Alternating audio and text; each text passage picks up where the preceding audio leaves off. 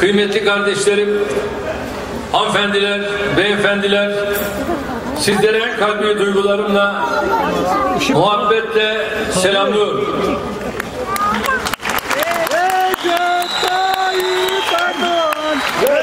Sözlerimin hemen başında burada bulunan annelerimiz başta olmak üzere ülkemizdeki tüm annelerin anneler gününü tebrik ediyorum derken şöyle bir parantez açıyorum.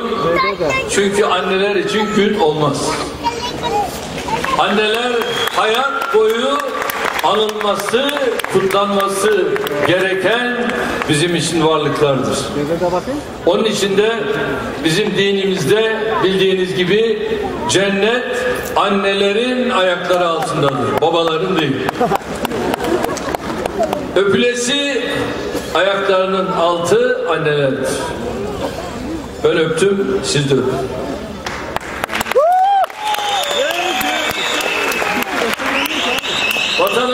Bekası için ciğerparelerini kara toprağa veren tüm fedakar şehitlerimizin annelerine buradan bir kez daha ülkem ve milletim adına minnettarlığımızı ifade ediyorum. Bu anlamlı günün Türkiye'nin ve dünyanın tüm kadınları, bütün anneleri için hayırlara vesile olmasını Rabbimden niyaz ediyorum. Başta sevgili annem olmak üzere ebedi aleme irtihal etmiş, Hakkın rahmetine kavuşmuş tüm anneleri hayırla, şükranla yad ediyor, mekanları inşallah cennet olsun diyorum.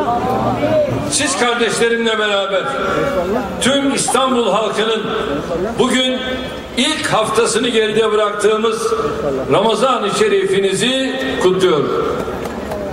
Beyoğlu Belediye Başkanımıza ve ekibine bizleri bu muhabbet sofrası etrafında buluşturduğu için teşekkür ediyorum. Başı rahmet, ortası mağfiret, sonu ebedi azaptan kurtuluş olan bu mübarek ayda tuttuğunuz oruçların, eda ettiğiniz ibadetlerin, yaptığınız hayırların hak katında kabul olmasını diliyorum.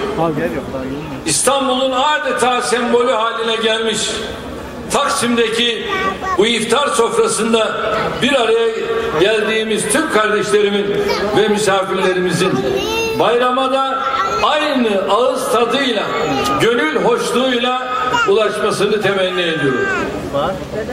Beyoğlu İstanbul'un tüm renklerini, tüm güzelliklerini, tüm zenginliklerini bünyesinde barındıran benim de doğup büyüdüğüm gönlümde müstesna yeri olan bir ilçemizdir.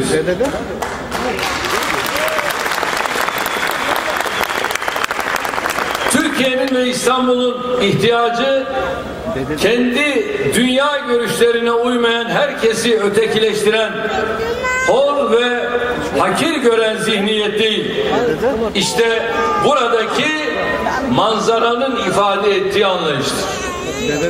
Milletimizin ve İstanbul'un ihtiyacı geçmişte bu Taksim'de sergilenen vandallık, şiddet, terör, provokatif eylemler değil. İşte burada olduğu gibi her inançtan, her meşrepten, kökenden insanın aynı sofra etrafında buluşabilmesini sağlayan hoşgörü ve dostluk iklimidir. İstanbul'un ve diğer 80 vilayetiyle tüm Türkiye'nin ihtiyacı darbe çığırtkanlığı yapanlar değil. 15 Temmuz'da işte burada olduğu gibi canı pahasına istiklaline ve istikbaline sahip çıkan milletin bizatihi kendisidir. Kazanı kaynatıp sandıklardan oyu çalanların üste bir tak, darbe tehdidinde bulunmalarına İstanbul halkı 23 Haziran'da inşallah gereken cevabı verecek.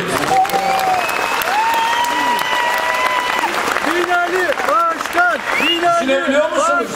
Türkiye Cumhuriyeti'nin parlamentosu parlamentosunda kazanı kaynatıp oradan darbeye çağrı yapanlar bu ülkede kimlerdir?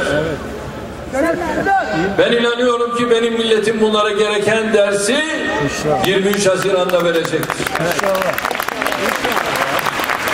Dağdan talimatlar geliyor. Terörist başlarının kimlerle beraber olunması gerektiğini isim vererek CHP'nin adayıyla beraber olmanız gerektiğini ta oradan söyleyenlerin kimler olduğunu herhalde televizyonlardan izliyoruz. Seveyim abi. Ben de çekiyorum. Değerli kardeşlerim, biz sandıklardan oyları çalanlarla benim milletimin bir arada olacağına zerre kadar ihtimal vermiyorum. Yüksek Seçim Kurulu da işte bunların hepsini tek tek tespit etmek suretiyle evet bunları belirlemiş ve böylece iptale gidip 23 Haziran'ı da seçim tarihi olarak belirlemiştir. Dünyanın neresinde demokrasinin en önemli işlerlik aracı olan seçimlerin şaibeden arındırılmak üzere yenilenmesine karşı çıkıldığı görülmüştür. İşte dün Belçika'nın bir şehrinde de yerel seçim için yenilenme kararı verildi. Daha. Bakalım Belçika'da bu karara karşı kampanyalar başlatılacak mı? Bu kararı veren yargı mensupları isim isim sayılıp tehdit edilecek çete yaftası vurularak itibar suikastına maruz bırakılacak mı? Belçika parlamentosunda bu sebepten darbe çığırtkanlığı yapan çıkacak mı? Ülkemizden başka hiçbir yerde böyle manzaralar göremezsiniz. İşte Avusturya'da Yok konuşmaya iki yıl aradan sonra Cumhurbaşkanlığı seçimini tekrarına karar veriyorlar. Avusturya. Taksim'e çıkıyor. Var mı? Dünya yıkıldı mı? Alo. Bir yerler ayağa kalktı mı? Var mı böyle bir şey? Yok. Ama bizde görüyorsunuz işte bu ülkede ana muhalefetin başındaki zat nasıl tehditler sallıyor ortada. Anayasanın 138. maddesini ayaklar altına alıyor. Ama buna karşı hiçbir ses yok. İma dahi edemez. Ben söylemiyorum. Anayasa söylüyor. İma dahi edemez. Bunlar imayı bırakın tehdit edin. Değerli kardeşlerim şunu çok açık net söylüyorum. Sandıktan korkan siyasetçilerin olduğu tek yer bizim memleketimizdir. Halbuki bir yerde seçim yapılıyorsa, gerektiğinde yenileniyorsa orada demokrasi işliyor demektir. Şayet seçimlerin yapılması ve gerektiğinde yenilenmesiyle ilgili bir tıkanıklık varsa orada demokrasinin tehlikede olduğu anlamı çıkar. Demokrasinin işlemesine katkıda bulunduğumuz bu yönde alınan kararı da saygıyla karşıladığımız için suçlanıyorsak bu bizim için ancak şeref payesi olabilir.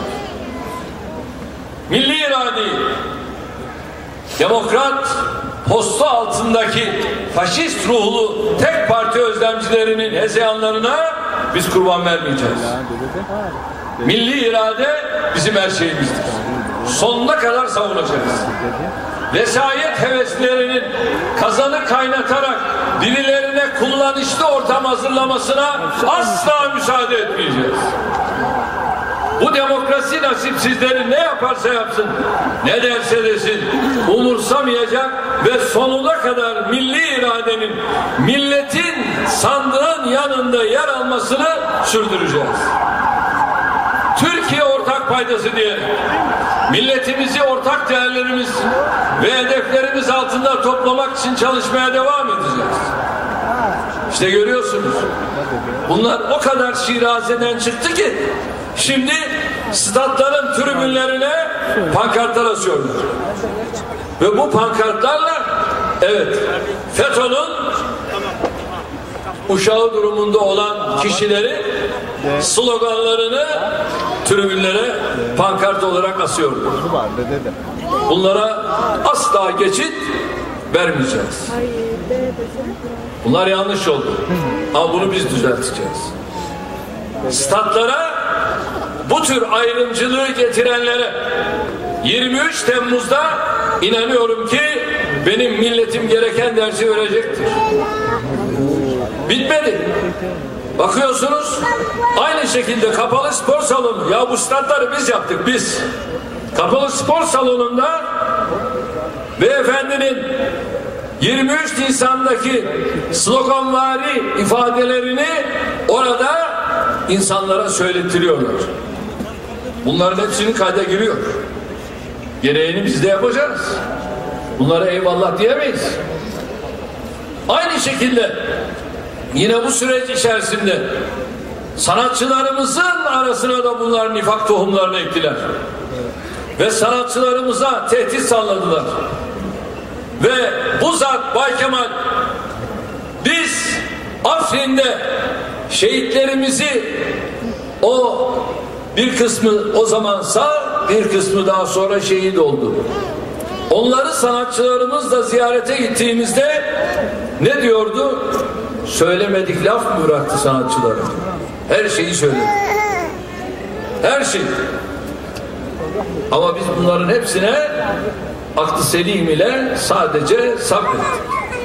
İnanıyorum ki sanatçı sanatıyla zaten bunlara gereken cevabı bulunduğu alanlarda her zaman verdi veriyor.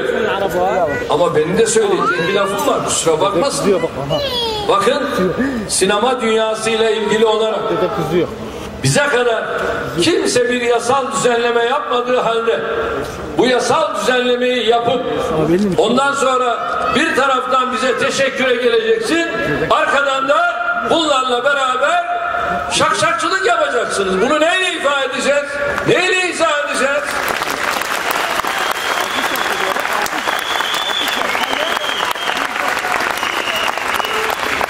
Sanatçı sanatıyla konuşur. Bu tür insanlara dal kavukluk yapmaz. Ve sanatıyla konuşan sanatçıları da biz baş göz ederiz. Bak el salla. Onlar için de elimizden gelen ne varsa onu yaparız.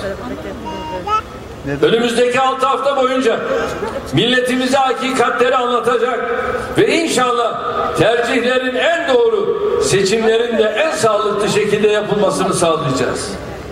Seçimin yenilenme kararının tamamını okuma, anlama, değerlendirme zahmetine bile girmeden bu konuda büyük büyük laflar edenlerin sözlerini sandıkta yutturmakta hepimizin boynunun borcu.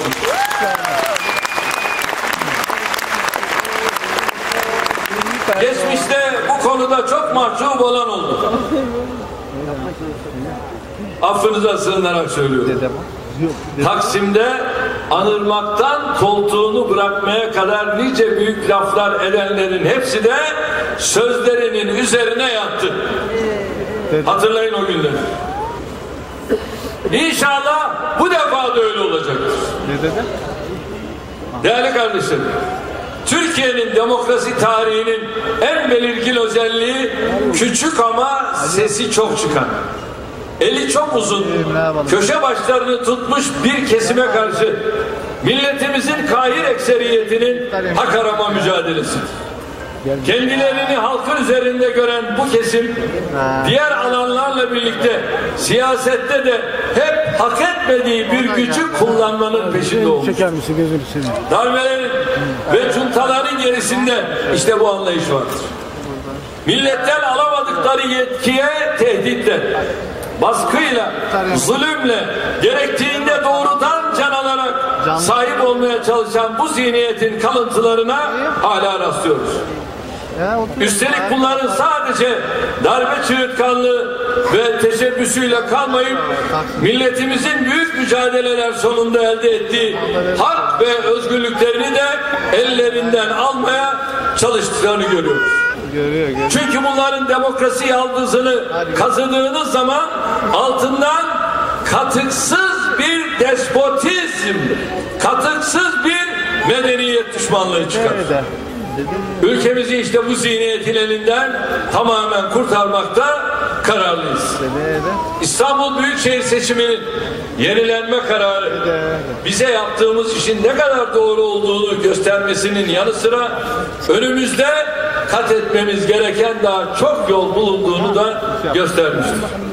Türkiye'nin demokrasiyle yönetilen bir hukuk devleti olduğu gerçeğini eninde sonunda herkes kabul edecek. Siyaset meydanı er meydanıdır. Kendine güvenenlere bu meydan hep açık. Tamam. Kendine güvenmeyenler ise tıpkı geçmişteki gezi olaylarında tencere tava çalma hadiselerinde olduğu gibi kendileri çalar, kendileri oynar.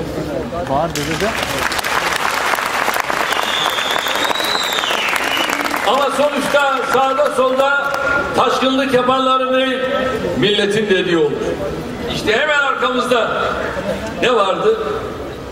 Atatürk Atatürk Kültür Merkezi vardı. olaylı. Atatürk Kültür Merkezi'nin gövdesine bunlar hangi pankartları astılar? Bize yakışmayan, bize uymayan, ne kadar dünyada meşhur aşırı uçlar varsa onların kan kokan pankartlarını astılar. Değerli kardeşlerim o pankartların hepsi sökülüp atıldı. Ve şimdi biz burada hemen arkamızda Türkiye'nin inşallah en büyük dev opera salonunu yapıyoruz. Ve bu salon Türkiye'ye değil dünyaya örnek olacak. Bakın biz iş üretiyoruz. Onlar ise bu tür salonları cam çerçeve indirmekle meşgul oldular. Şimdi 23 Haziran'da bir kez daha milletimizin hakemliğine gidecek olmaktan memnunuz. İstanbul için çok büyük hayallerimiz, projelerimizin olduğunu da biliyorsunuz. Bugüne kadar ülkemizi 2023 hedeflerine ulaştırma kararlılığımızdan en küçük bir taviz vermedik. İnşallah ülkemizi bölgemizde ve dünyada yaşanan sıkıntılı süreçten de en güçlü şekilde çıkartmakta kararlıyız. Türkiye'nin sadece 82 milyon vatandaşından ibaret olmadığını, aynı zamanda yüz milyonlarca insanın da umudu olduğunu biliyoruz. Eski Türkiye bakiyesi bir avuç seçkinin kendi ihtirasları adına bu umudu söndürmesine asla göz yumamayız. Büyük Türkiye davasına sahip çıkmak, milletimizin birlik ve beraberliğini gözetmek hepimizin ortak görevidir. Bu sebeple biz her fırsatta Hünkar Hacı Bektaş Veli'den ilhamla. Bir olalım, iri olalım, diri olalım, kardeş olalım, hep birlikte Türkiye olalım diyor.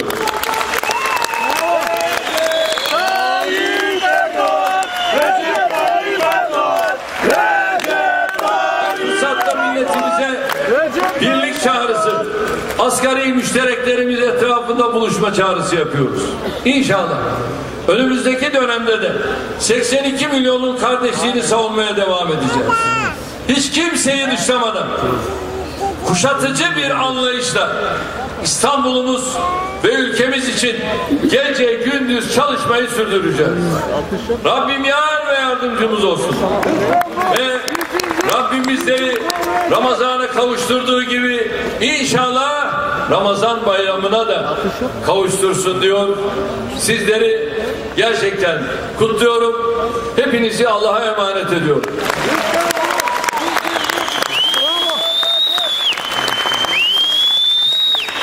Cumhurbaşkanımız Sayın Recep Tayyip Erdoğan'a konuşmaları için çok teşekkür ediyoruz. Anneler Günü münasebetiyle iki teyzemiz Cumhurbaşkanımızla görüşeceklerdir. Nadiret hiç dönmez. 82 yaşında resmiye pehlivanlar. Evet buyurun efendim sahneye davet ediyoruz sizleri. Bizim de bizim kalacak. Reis buraya. Kalacak. İstanbul bizim de bizim kalacak. Beraber. Ayakta durur diyor. İstanbul bizim olacak. Memur Bey, benim de bir mazeretim var ya. Ben 8 senedir çocuklarımı göremiyorum efendim ya. Amerika'da katedral evet. Lütfen onu Cumhurbaşkanı'na görüşmek istiyorum. Lütfen rica ediyorum. Onun için buraya geldim ben. 8 senedir çocuklarımı göremiyorum efendim.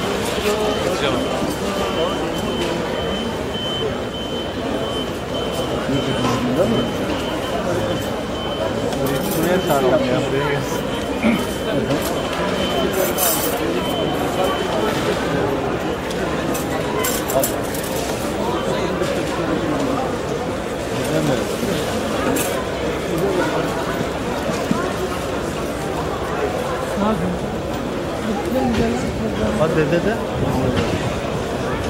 De. Var. Ne bileyim. De dede var. Hasan ayında Arkadaş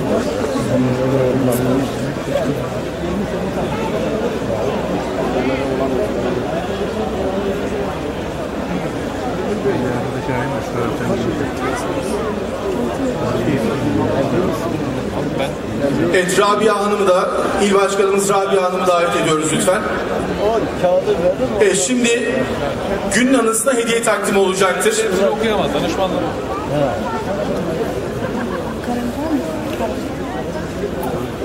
Evet öncelikle Rize'den gelen Havva Yıldız hanımefendiyi sahneye davet ediyoruz. Buyurunuz efendim.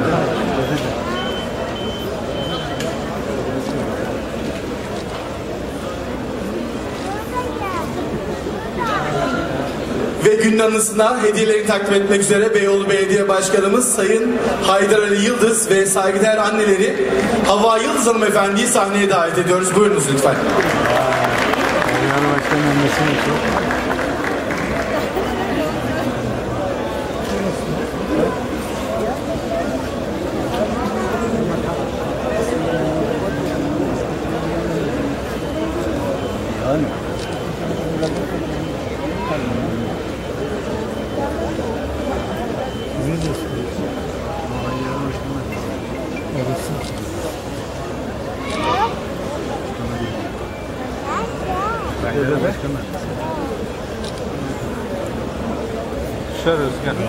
Cumhurbaşkanımız değerli konuklar, yağlı boya tablosu Şafak Tavkul tarafından resmedilmiştir.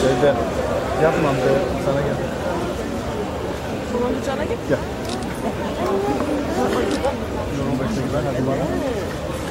Hadi ver bana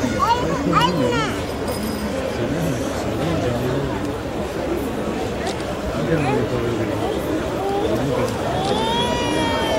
Hadi gel kucağıma gel. Aa, bebeği nerede yazıyor? Dede bak dedeye bak ne yapıyor? Balon veriyor bak balon veriyor. Balon veriyor bak balon. Ha dede balon veriyor söyle. Dedeye balon ver de bana. Ee, balon ver de. Dede söyle balon ver de. Tutma bunu elimde. Ana ayırlar şurada yapalım. Balon ver bana. Böyle Oradan geçer balon ver. Ma, ma, ma. Balon balon balon bayak bayak. Bayak bayak. Evet elimin camının yeni kabul olacaktı. Dede dede bakın.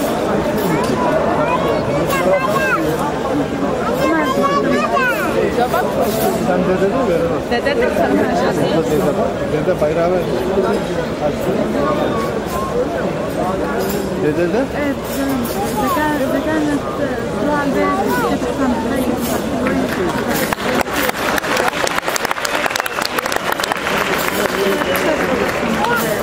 Dededen, dededen, dededen, bak bayrak veriyor. Balon da veriyor. Bayrak söyle dede. Dede bayrak verdi.